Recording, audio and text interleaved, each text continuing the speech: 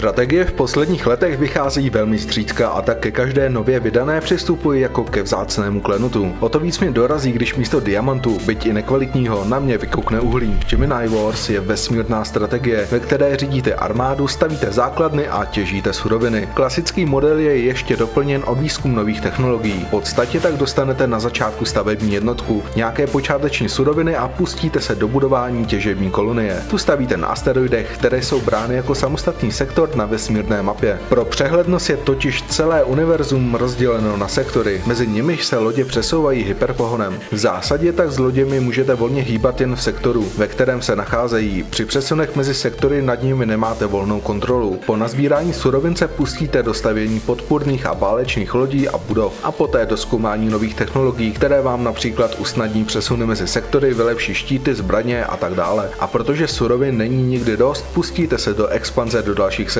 To samé udělá i váš protihráč a tak vám nezbývá nic jiného, než být rychlejší a vynalezavější než on, protože nadvláda nad sektory je pro výhru klíčová. Znalci strategií a zvláště těch vesmírních určitě v popisu poznávají vynikající hru Sins of Solar Empire, která od nás dostala nadherných 80%. Problém Gemini Wars je v tom, že se jedná o pouhou kopii této skvělé hry a navíc ještě nevydařenou kopii, která nepřináší ani náznak nějaké inovace. Zásadní problém je stereotyp. Všechno trvá strašně dlouho. V podstatě si naklikáte pár úkolů do fronty a můžete jít s klidem třeba utřít prach.